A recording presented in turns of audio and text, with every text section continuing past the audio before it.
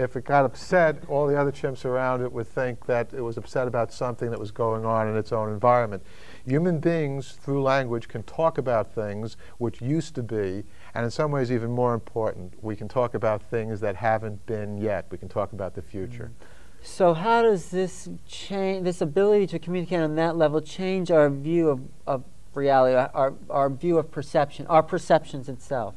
Well, because the the universe, of course, you know, comes to us in the present. Uh, yes. As far as we know, we can't get inside the head of a dog, or uh, obviously a bacterium doesn't even have a head, right. but they exist in a sort of total present. They're, they're, and okay. human beings, when we look at the world, there's a sense of where it was, where it is now, where it's going. Mm. In fact, so much so that, in fact, most people come to realize sooner or later that the sense of present is itself almost an illusion. You know, mm -hmm. if you mm-hmm. want to say, what, what time is it right now? Oh, the, the second I specified is already a few seconds in the past.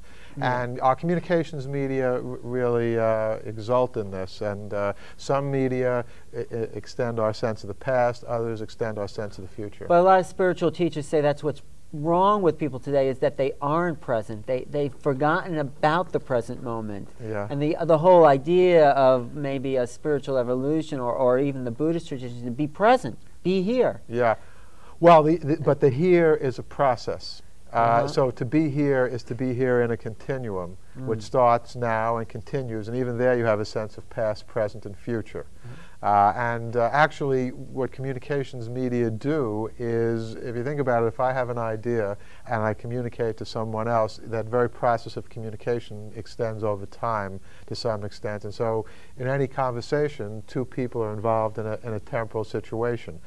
Or right. the people watching this program right now uh, are in the future as far as we're concerned. Uh, because and, and, they're in the present as they're watching, but as right. far as we're, because we're doing in the past for them, that's right, and the present for us, it's the future for them. That's right. Well, so, it's no, the future it's, for us. It's the future for us. We're, we're they're in our future where, uh, in, in effect, in their past, I mean, they're watching us now, but they know when they're watching us that this show